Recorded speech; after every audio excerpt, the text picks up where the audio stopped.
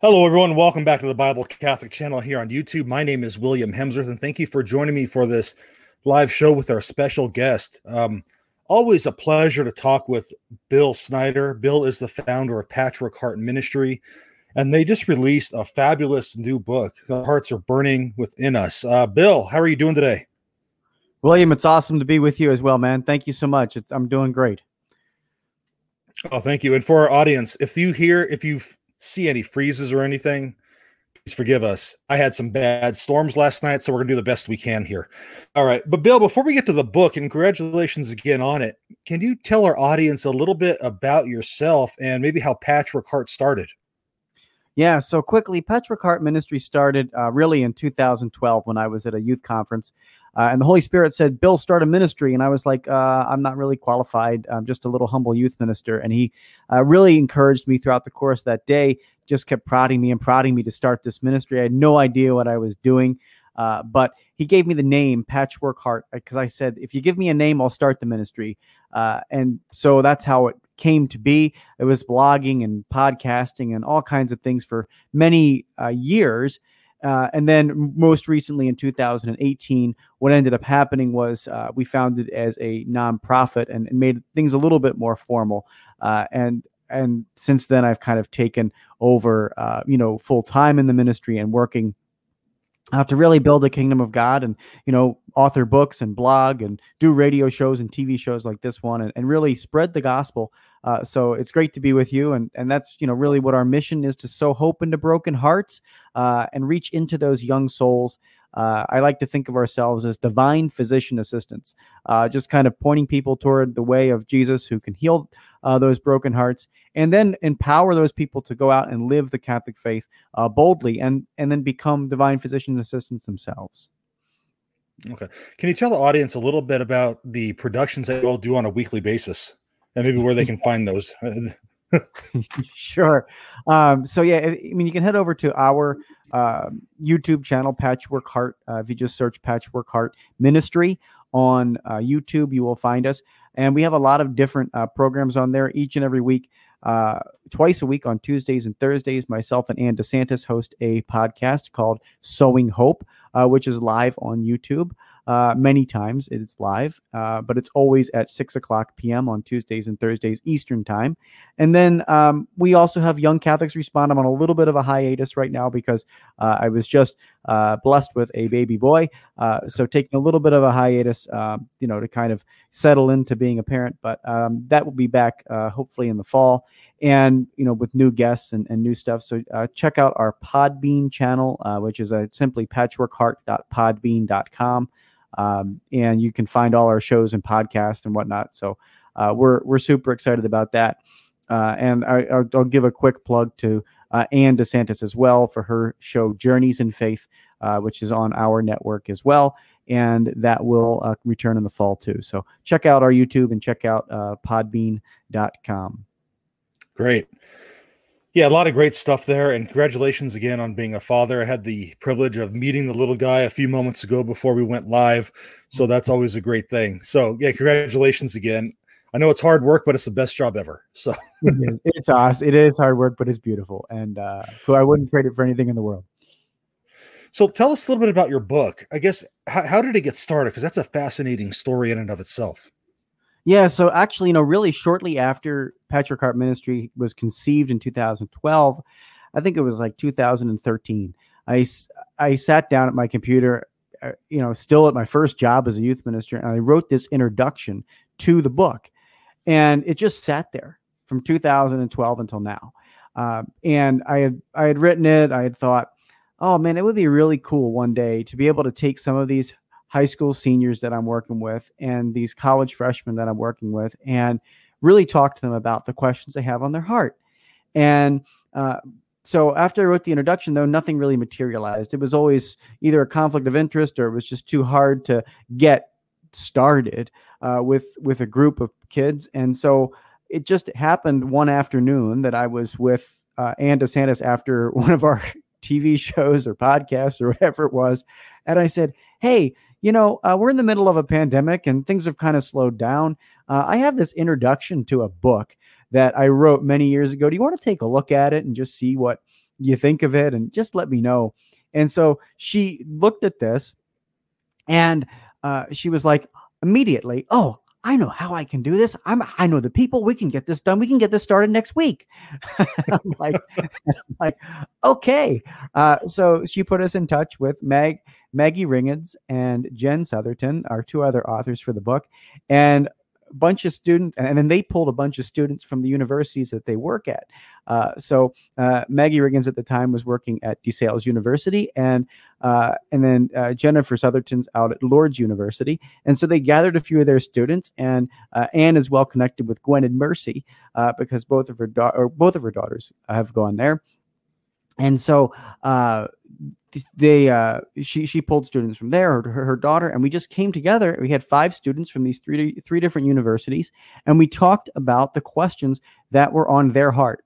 Uh, you know i i told them straight up i said there is no question that you cannot uh, ask. Um, there's nothing off limits whatever whatever is on your heart whatever burns on your heart and I think the interesting thing too was when we were discussing this as authors, we had you know a pre-author meeting. I said, you know, can, can we choose students that are, you know, involved and really involved? And can we choose a few that maybe are on the fringes of involvement so that we get a wide range of spirituality within the, uh, within the group. And even though we only had five, I think it was a perfect size because I, once you expand beyond that, I think there's too many voices.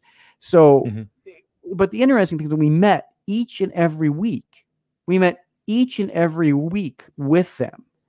And we kept coming back and saying, okay, do you have a question uh, based on this question? Because what would end up happening is we put this Google Doc together. So we were like, all right, here's this question on this. And then a student would go, well, I got a question about that based on this response. And so it just kind of flowed into 42 different questions um, that, that the students really had on their heart. And what I really liked about it, William, was the fact that we, um, the fact that we really took the time to to walk with them through this. It wasn't just like, okay, here are your questions, and we're going to write this book, and that's going to be it. You know, it was mm-hmm. no, I, I want to do the ministry aspect of this as we're walking with you through through this entire experience. So so they felt loved. When we we prayed together every single week, uh, we we always went around and said, uh, "What are the intentions that are on your heart too?" So you know, we were praying for people's grandmothers and and uh, all kinds of stuff, and it was wonderful to be able to encounter that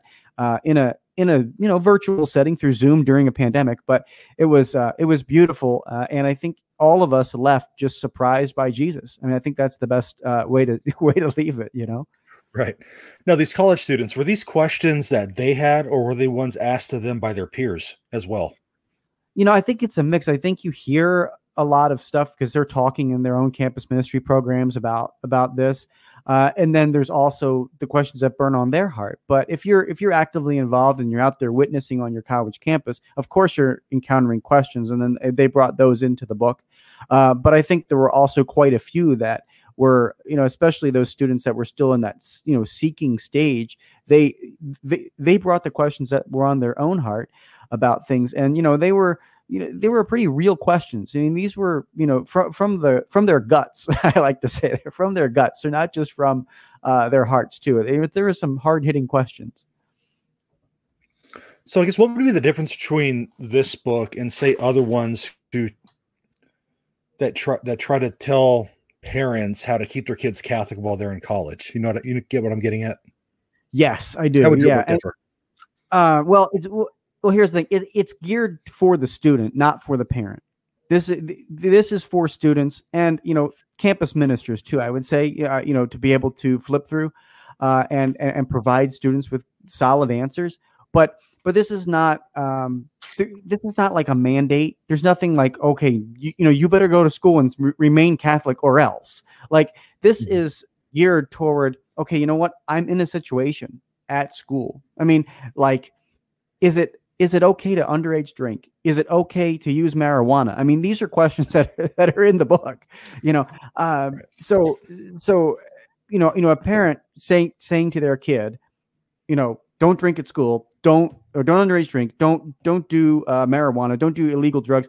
It, it's not coming from that angle. It's coming from okay, why why shouldn't I do this? Is it sinful? Is it this?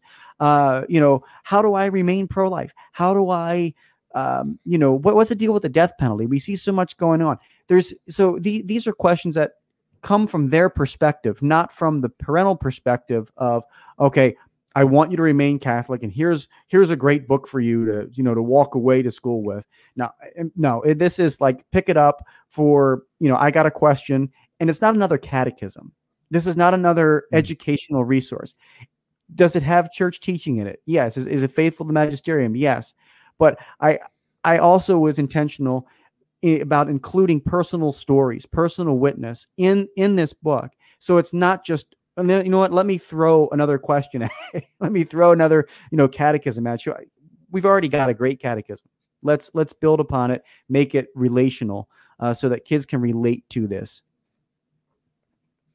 Yeah, and what I really enjoyed about your book is just the question it's the questions coming from them themselves. It, it, it's not from like myself, a 41 year old guy in Tucson, Arizona. It's the it's the kid on the college campus.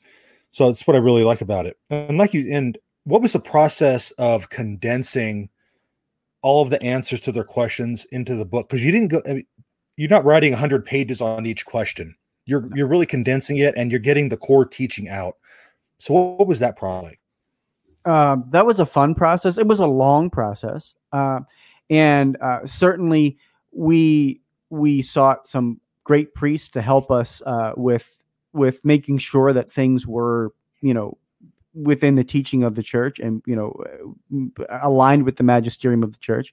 Um, but but I think as authors we were all surprised, and kind of what we did was we met monthly. We said, okay, we're going to work on this section. You're going to work on this section. You're going to work on this section, and just kind of clean things up in the Google document, make mm-hmm. it look, um, you know, like a book.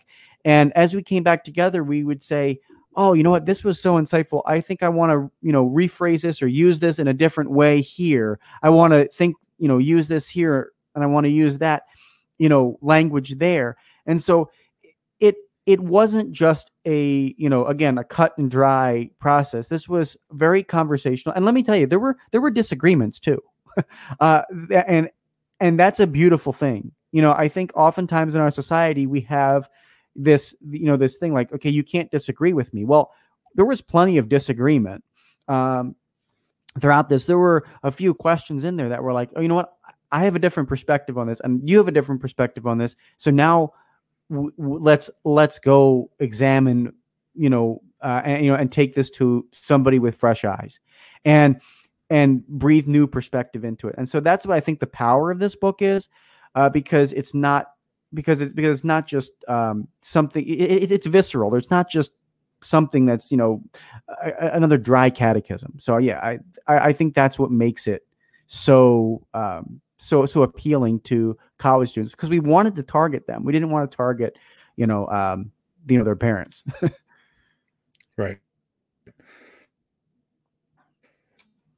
All right. And Bill, like I said before we went live, you a couple questions that you have in your book. So you ready for a couple? Yeah, sure, absolutely. I'm happy to I'm happy to talk with, with you about them. All right. All right. So let's talk about interpreting scripture. This is the first one in the book. And I hear this one a lot from even high schoolers. So the question is since the magisterium is made up of humans who we know are fallible by nature, how can we know that they are not, even if unintentionally, misguiding the community of faith with possible misinterpretations that may falsely claim to be guided by the Holy Spirit? What does the process look like of accepting dogma as dogma? It's kind of a, yeah. a big question. It is, uh, and that's the reason why we put it first in the book because uh, I, I, as I say in there, you know, it really is foundational to understanding and and believing everything else we write. If if the church is what it says it is, and Jesus says, you know, this is this is the church. It's built on Peter's rock that isn't going to fade away. Then, um, then we got to prove that, and so and we've got to stick up for that. So uh, that's the reason why we put it first in the book. But uh, to answer the question, I I would just point to, and I do in the book as well, but I would point to the the fact that this church has been around for over two thousand years. Mm-hmm. There is no other institution on the face of the planet that does what the Catholic Church does. By the way, it feeds, educates, clothes more people on the planet than any other organization does and has been doing that Amen. for such a long time. Right? That that proves and you know also through all the different storms and scandals we think we live in a scandalous time maybe but there were times in the church where you know when we don't have to go into them that were a lot more scandalous there than, than this we've had uh, you know people having three different popes or arguing about which pope was really pope in in our church's history and guess what the church is still standing. The the authentic teachings of the church still still stand. So i i would say uh, that right there uh, points to the the the, ex- the the mere fact that this is not driven by men because anything driven by men is just going to fail. You know driven by the holy spirit it remains standing. Um, and and just and look despite people trying to undermine the church it has never ever ever failed uh, so that is that the other thing i'll quickly add about dogma which i thought was a very interesting question i remember i was at a talk mm-hmm. by uh, mark shea uh, sitting at marytown actually and and, and he said this about dogma. He said, um, dogma is like the completion of a thought. Once you know two plus two equals four, you don't need to think about it anymore. You've com- you've completed that knowing, and and you just know it to be true. And so, I, I, I think when you look at dogma and understanding that as guess what? These are the basics. This is the very foundation of what we believe. It's two plus two equals four, um, and nothing else can can grow from it unless we believe these things. Then then I think, man, uh, that lends itself to really understanding what dog why we should accept dogma. Um, you know, of the church, and it's just the foundations, and we know it to be true. And then we also don't have to waste a lot of time thinking about it anymore. We, you know, we know it is true and we just believe it. In the group of college students that you worked with, was this a question that they all had, or was it just maybe one or two? I would say one or two of them had this question, um, but it was but it was a good question, and I think when we were talking about it and debating and debating it, uh, really walking with them through it, it was um, it, it was interesting to you know hear hear their response. It was interesting to hear oh okay now i get it and, and see that light bulb go off. That's the cool thing you know watching those light bulbs go off. Right. So let's go ahead and get to another one. Yeah. And i'll be honest i had this one when i was in the military and my son asked me this one even though he's only in middle school. So i'm going to ask it here. So how can i keep the lord's day holy as a college student sunday is usually prime time for cramming is that sinful uh, yes, it is sinful uh, to uh, you know spend your entire day cramming, uh, is what I would say. Yes, uh, and I, I, used to. This is a good question because I also use my personal example in this uh, question. I, I, was blessed to go to the University of Scranton, which is a Catholic university in northeastern Pennsylvania, and um, my my campus had Sunday evening masses. So they had a 7 p.m. and they had a 9 p.m. mass on Sunday evenings uh, it's pretty hard to miss mass when you know because you were out, you know, maybe hanging out a little too late. You can definitely make the 9 p.m. mass. Uh, so more often than not, when I was in school, I I went to mass because the times were you know uh, amenable, but also because um, you know I I knew that it was sinful to miss mass, and so with that being said, I I would just challenge people who might be thinking, oh, um, I don't need to go to church this Sunday to to to say, you know, is your reason for missing mass a grave reason? Right? Like is it a grave reason? Is it or or is it something under the under the point where like okay, are are you going to have to um take care of somebody else? You know, or whatever whatever those things that the church says it's okay to do to miss mass if it doesn't fall in those categories, if it doesn't fall in grave matter or taking care of elderly or sick people that, you know, that as a caregiver, then you really want to be at mass. And here's here's the thing that I found interesting when I was researching this question. I I looked at the catechism and and it mentioned that what we should do, and I don't have the quote right in front of me, but but but it's what we should do if we miss mass is to gather as a family or groups of families for an extended period of time and worship God. so if you're not doing that, that that doesn't really meet the criteria. Like like it doesn't meet the criteria for worshiping God and giving Him you know prominence on the day of the Lord's Sabbath, which He asks us to do.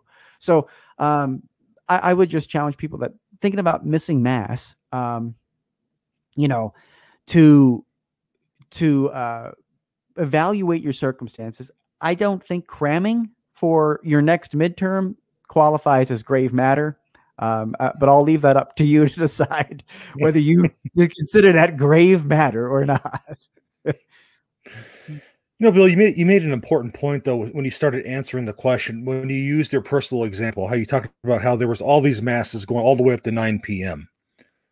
Really, God's only asking for an hour. I mean, we can go Saturday night even. I mean, whatever the case is, there's really the church is the church gives us so many options that we really have to try hard not to go. yeah. So there's really no really it like I said, really there's really no excuse with, with so many options that the church gives us. No, I agree. Now this this next question, Bill, I want to ask this one because it's still one that it's one I see in you know Protestant Catholic debate groups as well. So it's not I don't think it's just a college student thing. But how should I respond when someone says they're not Christian or Catholic because of quote unquote all the rules? uh, I answered this one so shortly in the book, and um, and you know I said this uh, very very simply. I said, ask them what rules. Ask them what rules they are referring to, because I and look, I don't mean to be blunt, but here's the thing: oftentimes they're making up the rules. And they're and they're thinking about something that really is not the rules of of the church. And so if you can call them out on that and here's the thing you don't even have to know that that that is you know you don't have to be like the most well versed person either right? I i can just say let's research this together right? Like like like you know i think a lot of college students are afraid that that when they say uh, what rules are you referring to? Well okay the rule against um, you know not consecrating pickles. That's the reason why we're not allowed to you know that's the reason why i'm not becoming and then you have to go and define that reason why we only consecrate unleavened bread. Like like let's let's research it together. You don't have to know exactly the reason why. We only use unleavened bread at mass. Like like let's just go in and research it to together. But but ask them what rules they're referring to because oftentimes it's something bogus to be quite honest. Yeah i remember when i was fighting coming into the church and i i used that one time and like you said i kind of made up my own thing uh, I, forget it was something ludicrous i can't remember i think i blocked it from memory just because it's too painful for me to remember but, but so I'm gonna, I was, I'm gonna ask one more, and then we'll um one more question that you have in the book, and then we'll talk about a couple other things about the book.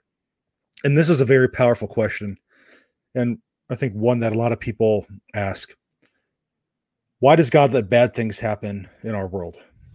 Mm. Yeah, and you know, I um I was really so struck by this question originally when it was put in uh, the book. It it said um, because we were going through the pandemic and I wanted to extend the life of the book just a little bit beyond the pandemic. And it said, you know, why does why did God allow the uh, coronavirus to happen? You know, and this bad thing to happen. And and I said, well, I, I went back the next week and I talked to the kids and I said, well, are you talking about just the coronavirus or are you talking about other bad things? Like like why does what is the problem of evil here? And right. and so um, they said, of course, yeah, it's not just the coronavirus pandemic.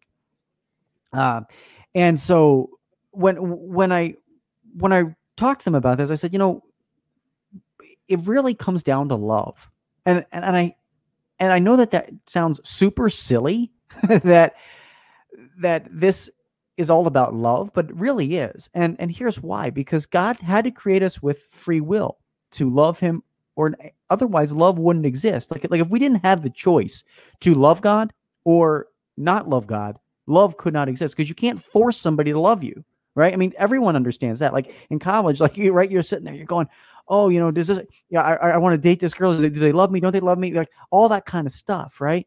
So God can't force somebody to to love you. Now, here's the crazy thing: once you say, "No, God, I don't love you," like Adam and Eve did in the Garden of uh, Garden of Eden, like they, you know, they said, "God, we don't, you know, you know, we're re- we're rejecting you. We're not going to follow you anymore." Mm-hmm.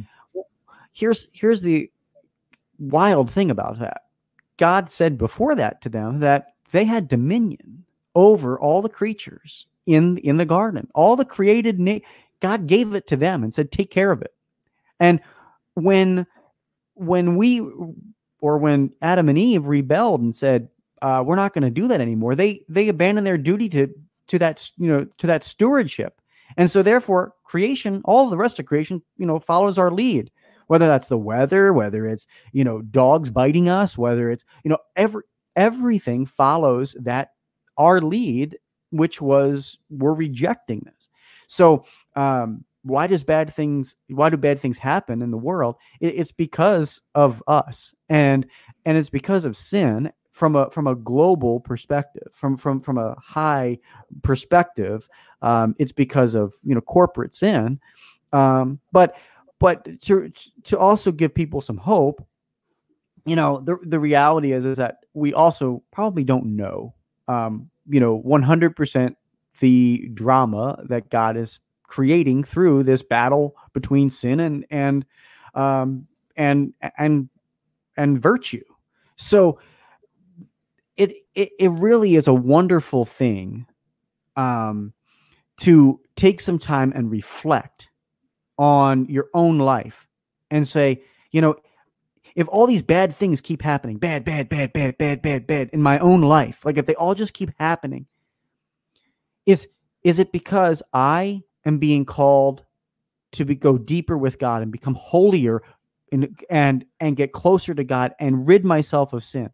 Mm. And and it doesn't mean that your life is going to be perfect after after you become holier. But w- what it means, I think, is you're going to see the through the lens of of God's eyes a little more, and and realize, oh, you know what? Let me help in this situation. Let me let, let me become a helper versus you know somebody who is destroying.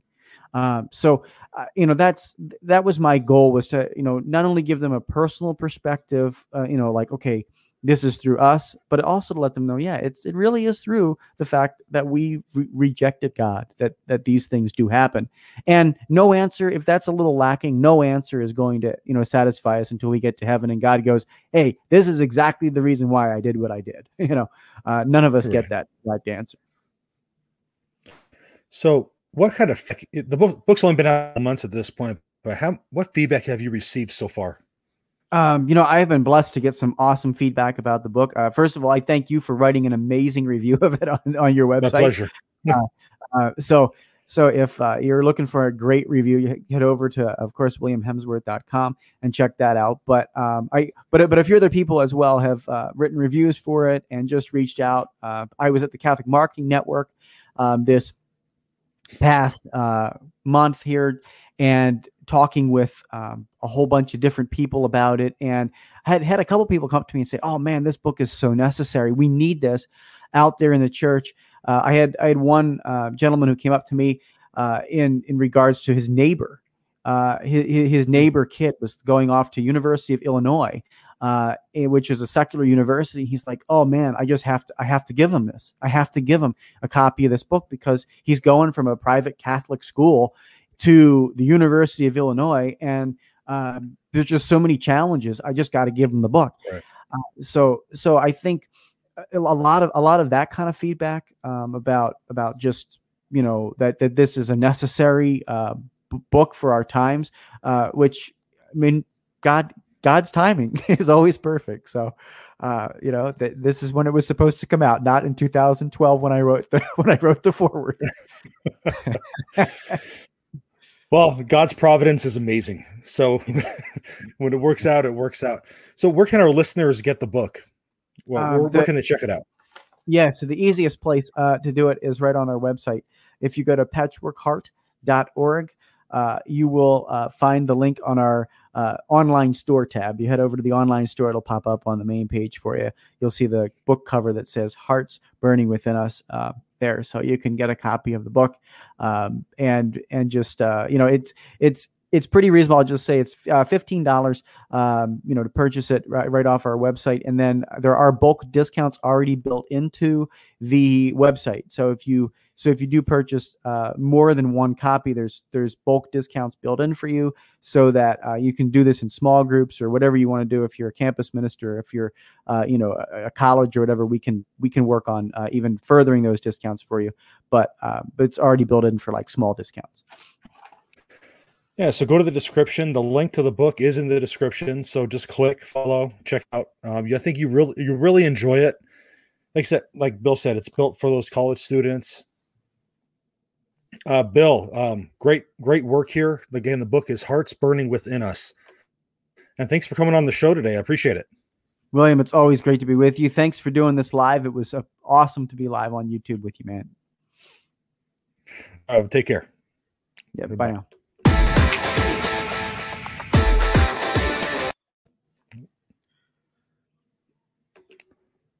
Come on. There we go.